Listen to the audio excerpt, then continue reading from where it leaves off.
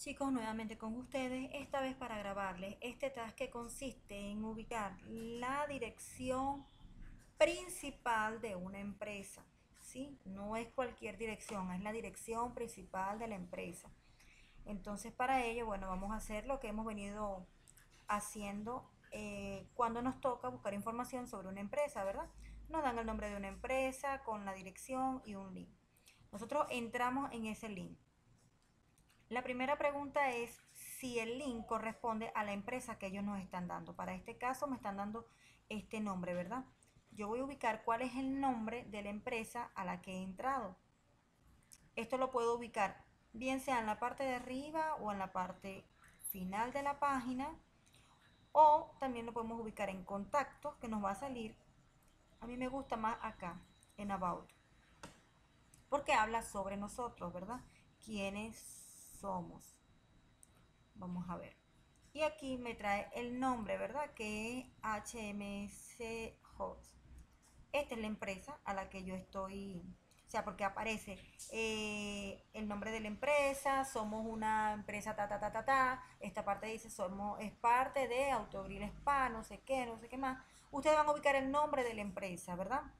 Entonces, bueno, aquí veo el logo y yo asumo que en, en About lo confirmé es HMS Host. ¿Verdad? Yo copié el nombre, lo copié desde aquí. Le digo que no es el mismo nombre y pego el nombre correcto de la página a la que entré. Si la página no abre, siempre y cuando no sea por el internet obvio, si la página no abre, yo voy a marcar esta opción. Aquí la página sí me abrió, pero no es la empresa que ellos dicen que es. Coloco el nombre real.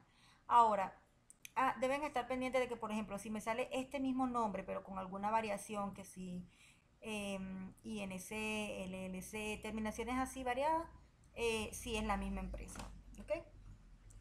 Eh, ahora nos preguntan, vamos a pasar a la parte de la dirección. Ellos me dan esta dirección, me preguntan, eh, ¿es esta la dirección que tiene esa página? Yo voy a la dirección, recuerden que es la, la dirección principal de la empresa a la que estoy entrando. Si aparecen varias direcciones, debemos ubicar ¿Cuál es la principal? ¿Cuál es la principal? Bueno, vamos a verlo aquí en las instrucciones.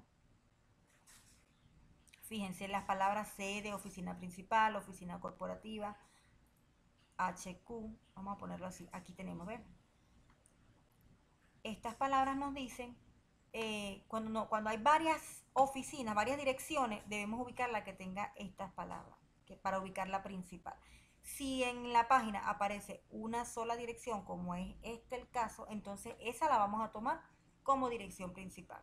Vamos a copiar esta dirección. Vean este código postal que aparece así, ¿verdad? Lo vamos a tomar hasta aquí. Después del guion para allá, obviamos eso. Hasta aquí es mi dirección. Copiamos esto. Vamos a copiarlo otra vez porque ya yo lo hice. Entonces yo comparo esa dirección con esta y no es la misma. Entonces, no es la dirección, pero yo encontré una. Y esto es cuando no hay dirección por ningún lado en el sitio web. Esto es cuando sí hay dirección y es la misma, no es la misma y cuando no se consigue la dirección.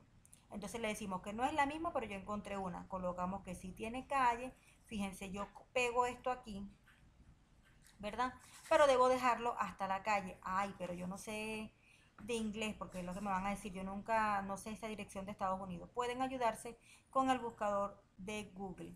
Pegan allí su respuesta y esta parte de aquí arriba hasta DR o Drive, esta parte es la calle, ya esto es eh, la ciudad, esto es el estado, el estado siempre les va a salir así en, en abreviación, no dos letras, y el código postal. Entonces ya ustedes saben, la primera línea de arriba es el nombre de su calle entonces, bueno, lo dejamos hasta Drive, hasta aquí como está. No porque en Google lo vieron hasta D, hasta DR, lo voy a dejar hasta ahí. No, lo voy a traer, como está en la página y pendiente de, omitir esas comas, que no me quede coma al final. Me queda así el nombre de la calle, ¿verdad? Vuelvo a pegar y aquí el nombre del estado. El nombre del estado, borro la calle y como yo sé que este es mi este es mi estado y mi código postal. Voy a dejar el nombre de la ciudad, que es lo que me están pidiendo en esta línea. Ahí sin coma. El estado es MD y el código postal. Entonces, eso es todo lo que hay que hacer en este, en este task. Ahora, ya yo hice todo lo demás, ¿verdad? Ahora les va a aparecer el bendito error este que no los deja enviar. ¿Qué van a hacer? Ustedes van a enviar su task. Van a enviarlo y les va a salir error. Ahora, ¿qué van a hacer? Van a traducir la página. Le dan, se paran aquí, le dan un clic y salen otra vez fuera de él.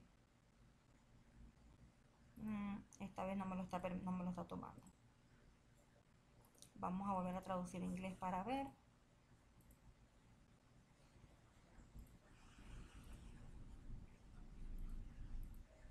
Ahí está.